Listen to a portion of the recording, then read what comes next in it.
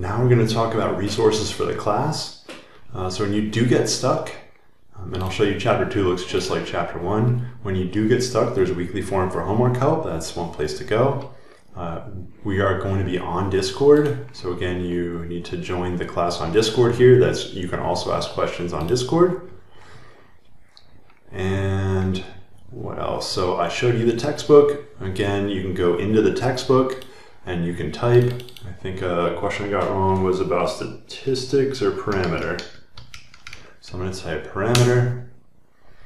And right here, related key terms. And also you can get results in the chapter. So I really just want a definition and parameter, a number that is used to represent a population characteristic, generally cannot be determined easily. Um, so here's one way to use your textbook if you're getting stuck. And of course you can watch the videos. Not every uh, thing in your textbook is going to also appear in a video, but a lot of it will be there. Um, and there's a few other useful things. Uh, you can go to the tutor, uh, the Learning Lounge for tutoring. They do have online option. I'll show you that. Uh, and there's also NetTutor. It won't work for me because I'm an instructor, but you can use NetTutor. Um, is a tutoring service that the college subscribes to. Uh, but what we're going to look at, is the Learning Lounge and tutoring information here. So let's click that.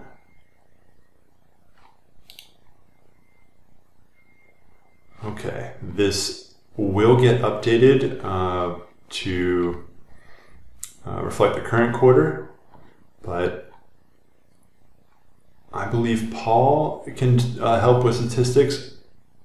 Katie, I believe, can, but in the future there may be different people working there.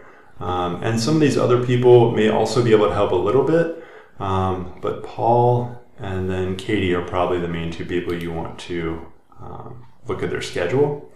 If you can go in person, that's great. If you cannot go in person, that's okay too. Let's see. It's on the second floor, room 207. There it is, room 207, Monday through Thursday. Uh, if you cannot go in person, no problem. Somewhere up here is the Zoom link. I don't know why I'm not seeing it. Start a tutoring session on Zoom now. All right. This is only going to be staffed during the hours it's open. So uh, only going to be staffed uh, from 9 until 6, Monday through Thursday.